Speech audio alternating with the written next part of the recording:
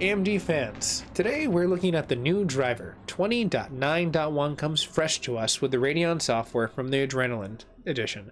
We are looking at a brand new optional that hopefully should improve some FPS. But is Windows playing a roadblock? Let us find out. We'll be looking at some patch notes, some benchmarks.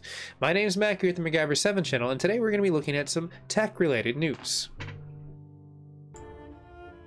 Looking at what's highlighted right over here, we see a few different things. To zoom in and actually see what's going down for as far as the more finite details, we're going to be looking at the black screens for the TDR for the 5000 series when changing the metrics overlay with tools screens in the web browser active, looking at project cars experiencing the performance issues with the Radeon software and the metrics also overlay enabled, looking at 1603 and 195, looking at those errors that come down to the Ryzen 5 and 3 mobile processors affecting the graphics system configuration on top of the Vega graphics.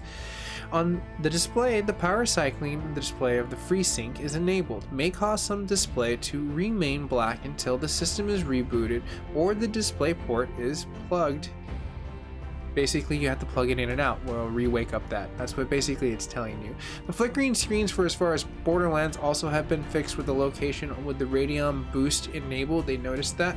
It worked really good with uh, gearbox in order to fix that up. Decoding some of the hevc content in the amf decoder and results into some corrupt clips in the playbacks. Performance in the tuning for as far as the profile sometimes not being applied inside of the save profile for the fans, and that has happened to me many of times among a lot of people. Even Gaming Nexus said that once or twice. Looking at the Radeon software for as far as the sometimes may crash when exiting and performing a game scan in the tab. Also looking at the random colors when the corruptions in the portions of the surface was matchmaking in the Counter-Strike for Global Offensive. Noticing the portions of the missing icons or the text in the hotkeys are used in the invoking portions of the Radeon software stream. So basically use OBS. They are still fixing a lot of these things and all these are fixed issues, but we will be coming down to the known issues after we look at the brightness and the flickering portions of the VP9 in the playback in the 5000 series. Now as we scroll down and see what changed in the list of broken, we look at the Project CARS 3 for as far as the mirror corruption and the VR. We look at the FreeSync when enabled in the 5000 series and the configuration of the display, which basically is telling you it's going to uh, spike on the FPS. It's no longer going to do the disappearance screen, hopefully. On top of that, for as far as the enhanced sync may occur, for as far as black screens occurring and enabled, some screen configurations may experience the sync, just disable it. It's a temporary workaround. Performing the metrics overlay in the performance tuning tab incorrectly in the reported higher than expected idle clock for the 5700. Um, looking at the products past that for HDR on Windows, performing the task may cause some washed out saturation. Audio experiences for what happens to the receiving portion of the HDMI on the 5000 series, and then we look at some of the shutters that comes down to the gameplay within the 5000 series. So the 5000 series is kind of a little bit of a hot mess, but that brings us to our benchmarks, ladies and gentlemen, which is probably one of the more funner things, and I got some more exciting things for everyone. I broke down to a newer format what we're going to be looking at and digesting for as far as the scales of what has changed in driver to driver in the optimization. When looking at the graph of all the scores inputted, what we basically see is the current driver, the optional before we switch to the brand new one, so 20.8.3 kicks butt when it comes down to having the current Windows refresh circumvent everything built on top of it. It's very well performing. When you have the variable refresh rate or the advanced scheduling on for any of the hardware for the GPU, it is a tank on both DirectX 11 and 12. We're going to the 20.9.1, it's the reverse. We see the scoring where it actually improves and the basic idle score goes down, so the actual switch performs.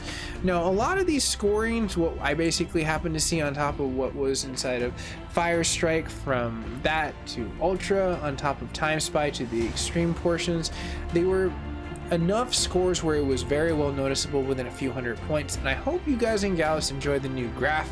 If you want to see a little bit more of the old school graphs, I can always mix those. I just wanted to test that out to see how people like it. I figure it's a little bit easier to digest why I talk about what ends up happening. So basic diagnosis this week, what should I do? Should I install the software? Well, yeah, it does kind of work really well, decently so far, and it fixes some good things. And if you have your variable refresh rate or your advanced scheduling on, you're not going to have an issue. It's actually going to perform pretty decent.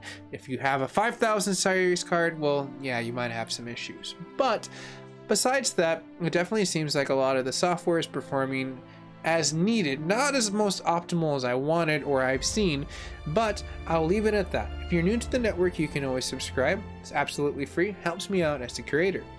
And if you do today, who knows?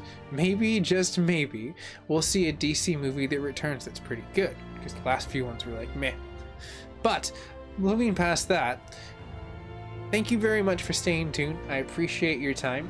And for all the returning community members that have been utilizing those links, I very much appreciate it, especially with all the new technology that's coming out. If you're utilizing Amazon to purchase any of these lovely new tech toys, you can use those links down below. It doesn't have to be that piece of tech as long as you portal in through there and utilize that and add that to your cart. It helps me out as a creator. But stay classy, everyone. Stay safe. And I look forward to doing an overclocking episode in a few mid-patch notes for this to see what does improve because it seems like for surezies, Windows has a very, very good running record of destroying a driver when it first hits, but then tuning it towards the end. So it's like you almost want to wait one driver behind and then you get kind of a really good optimal thing. And for most people that are experiencing like a lot of issues where that doesn't work, so if you've rolled back from 20.9.1, which is the new, to the 20.8.3, which is the last one standard, which worked pretty well with everything pretty much off but at the same time you can also go to the standard which is 20.4.2 all those you can find on AMD's site and link down below. You just got to basically type it in it should be there. If not hit me up in a comment I can always give you a link. But stay classy everyone and I'll see you guys and gals in the near future